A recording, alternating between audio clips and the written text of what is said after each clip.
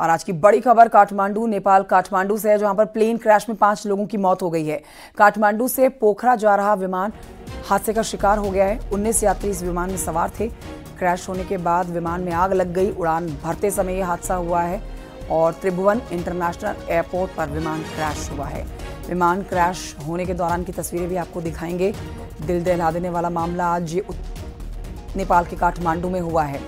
त्रिभुवन airport की तस्वीरें आप देख रहे हैं। ये वो विमान है जो पूरी तरह से जलकर नष्ट हो चुका है। इस विमान में 19 लोग सवार थे। क्रू मेंबर्स के साथ कुल मिला के 19 लोग इस विमान में सवार थे, जो उड़ान भरने ही जा रहा था। देखिए, उड़ान भरने से पहले कुछ तकनीकी खराबी जो आई है टेक ऑफ़ के दौरान ही हादसा हो गया और पाँच लोगों की जान जा चुकी है। मतलब आप कह सकते हैं कि जैसे विमान के अंदर आग लगी है, आग फैलती चली गई और उससे पहले कई यात्रियों ने उतरकर विमान से अपनी जान बचा ली है। क्रू मेंबर के भी काफ़ी लोग इस विमान में सवार थे।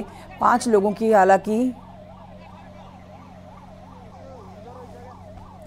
एक बड़ा अपडेट आपको दे देते हैं। 19 लोग इस विमान में जो सवार थे, उसमें मरने वालों का आंकड़ा बढ़ गया है। पाँच से ज़्यादा 18 लोगों पर यह आंकड़ा पहुँच गया है। 18 लोगों की मौत हो गई है। आपको बता देते हैं कि जैसी तस्वीरें सामने आई हैं, उनको देखकर अंदाज़ा लगाया जा सकता है कि किसी का भी बचना इस हादसे में नामुमकिन है। बहरहाल 19 लोगों की जानकारी मिल रही है जो इस विमान में सवार थे, लेकिन 18 लोगों की अब नेपाल सरकार की तरफ़ से मौत की पुष्टि की गई है। दो तस्वीरें, जहाँ पर जलने के बाद विमान की जो हालत हुई है, आप देख सकते हैं। तो टेक ऑफ़ के दौरान ये हादसा हुआ है। भयंकर, भीषण हादसा, भयावह तस्वीरें। उस वक्त की भी आप देख रहे हैं जब विमान में आग लगी। टेक ऑफ़ के दौरान ये हादसा हुआ है। टेक ऑफ़ के दौरान तकनीकी खराबी के चलते विमान में आग लगी है और आग देखिए पूरे विमान में फैलती चली गई। जिस तरह से पूरे विमान को इस आग ने अपनी चपेट में लिया है, अपनी लपटों में घेरा हुआ है, इसमें 18 यात्रियों की जान जाने की पुष्टि कर दी गई है। बड़ी खबर, नेपाल के काठमांडू से। ये दो तस्वीरें आपके टेलीविज़न स्क्रीन पर एक्सक्लूसिवली आपको हम दिखा रहे हैं। पड़ोसी मुल्क से आ रही हैं ये खबरें, जहाँ पर नेपाल के काठमांडू, नेपाल की राजधानी काठमांडू में आज ये दुखद हादसा हुआ है। नेपाल के लोग इस समय गमगीन है।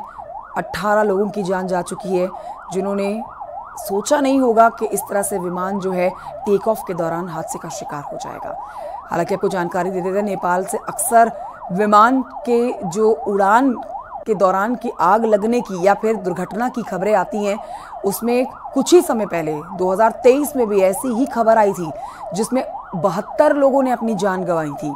और अब एक बार फिर से ये साल का बड़ा विमान हादसा कह सकते हैं, जो नेपाल के काठमांडू में हुआ है। 18 लोगों की मौत की पुष्टि की गई है। इस समय गहमा गहमी मच रखी है। सुरक्षा बलों ने पूरे इलाके को घेरा हुआ है। त्रिभुवन एयरपोर्ट की तस्वीरें आप देख रहे हैं।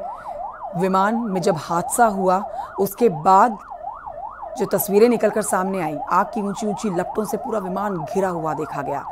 हर किसी ने ये मंजर देखा और अपने फ़ोन में जो रिकॉर्ड किया है, तस्वीरें दिल दहला देने वाली सामने आ रही हैं। अठारह लोगों की मौत हो गई है।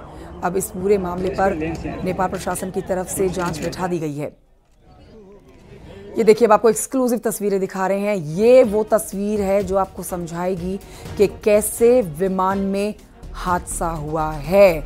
एक विमान जो उड़ान भरने के लिए तैयार है और दूसरी तरफ़ जो विमान हादसे का शिकार हुआ है, कैसे वो इन तस्वीरों में आप देख पाएँगे छोटी सी झलक उसकी उड़ान भरते ही टेक ऑफ़ करते ही ये विमान धराशायी हो गया और इसमें आग लग गई। एयरपोर्ट पर अफरा तफरी मच गई और ये तस्वीरें इस समय सोशल मीडिया पर वायरल हो रखी हैं।